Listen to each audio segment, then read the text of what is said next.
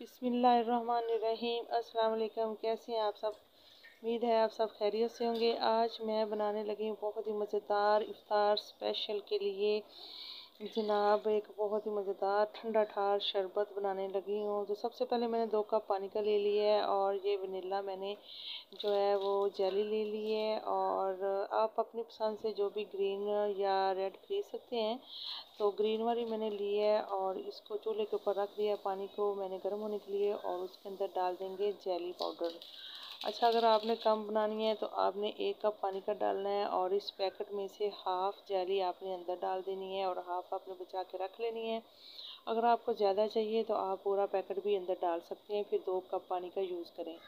तो बस आपने इसके अंदर मुसलसल चम्मच हिलाते जाना जब तक इसके अंदर वाले जो ब्रिक क्रिस्टल है, यानी कि वो इसके दाना है, जो जेली का, वो इसके अंदर हलना हो जाए तो उस वक्त तक आपने चम्मच इसके अंदर इस तरह से हिलाते जाना है।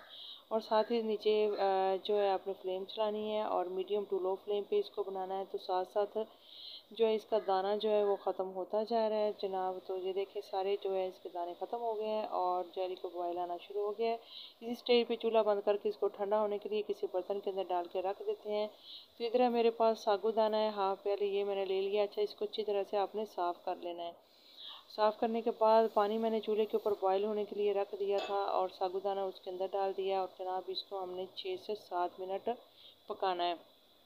क्योंकि ये इसमें टाइम थोड़ा सा लगता है ये, ये तकरीबन दो से तीन मिनट में रेडी नहीं होता।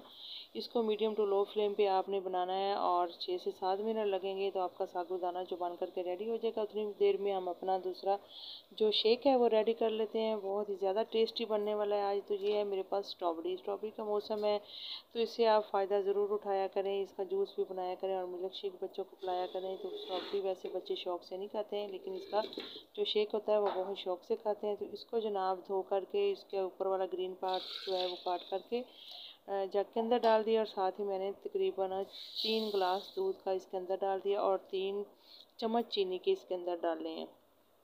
और इधर जो है मेरा सागुदाना वो बिल्कुल रेडी हो गया है और इस तरह से वो किसी बर्तन के अंदर जो उसका पानी है उसको अच्छी तरह से आपने छान लेना है। और ये देखें कितना प्यारा कलर जो इसका जो दाना आ रहा है, चमकदार और बहुत प्यारा लग रहा है और इसके ऊपर ठंडा पानी आपने फौरी से डाल देना है। तो ठंडा पानी इसलिए डालना है ताकि जो साबुत होना है वो लहदा लहदा हो जाए और ये देखिए हमारा जो शेक है वो भी बन करके रेडी हो गया है और इसका पानी अच्छी तरह से मैंने रिमूव कर लिया था। अब इसको इस तरह से किसी भी सर्विस कप के साथ आपने पकड़ के इसके अंदर डाल देना है और इसको जनाब अच्छी तरह से इस तरह से हल कर लेना है। तो ये बहुत ही ज़्यादा मज़ेदार लगता है ठंडा ठंडा जो अफ्तारी के टाइम तो बड़ा ही मज़ा आता है इसको पीने में। तो यकीन माने आप बना कर देखिएगा और बाद में फिर आप मुझे कमेंट ज़रूर दीजिएगा। तो जनाब, अब हम देखते हैं जेली हमारी सेट हो गई है कि नहीं तो इसको साइड पे करते हैं और जनाब ये देखें जेली जो है हमारी मुकम्मल तौर पर सेट हो गई है। इसको दस मिनट हमने फ्रिज में रख दिया था और हम छुरी की मदद से जो है इसके बना लेते हैं छोटे छोटे से क्यूब्स। तो आपसे अपनी चॉइस है, छोटे बनाए, या थोड़े से बड़े बनाए, जो भी आपकी मर्ज़ी, इसी तरीके से बस आपने इसके क्यूब्स बना देने हैं। तो जनाब, ये बच्चे जो हैं जैली बहुत ही शौक से खाते हैं तो ये देखिए कितनी ज़बरदस्त बनी है और कितनी अच्छी बनी है जैली तो बस इसको साइड पर करते हैं और इसको जनाब इस तरह से नाइफ़ की मदद से आपने सारी जैली को इस तरह से उतार लेना है। तो इसको साइड पे करके जनाब इसको स्पैचुला से हम जो इसके अंदर डाल देंगे, जो हमने शेक बना कर रखा हुआ है, स्ट्रॉबेरी शेक। तो बहुत ही ज़्यादा टेस्टी बन जाएगा। तो अभी से मुँह में पानी आना शुरू हो गया है। तो बस जनाब, आप इसको इस तरह से ज़रूर बनाइएगा।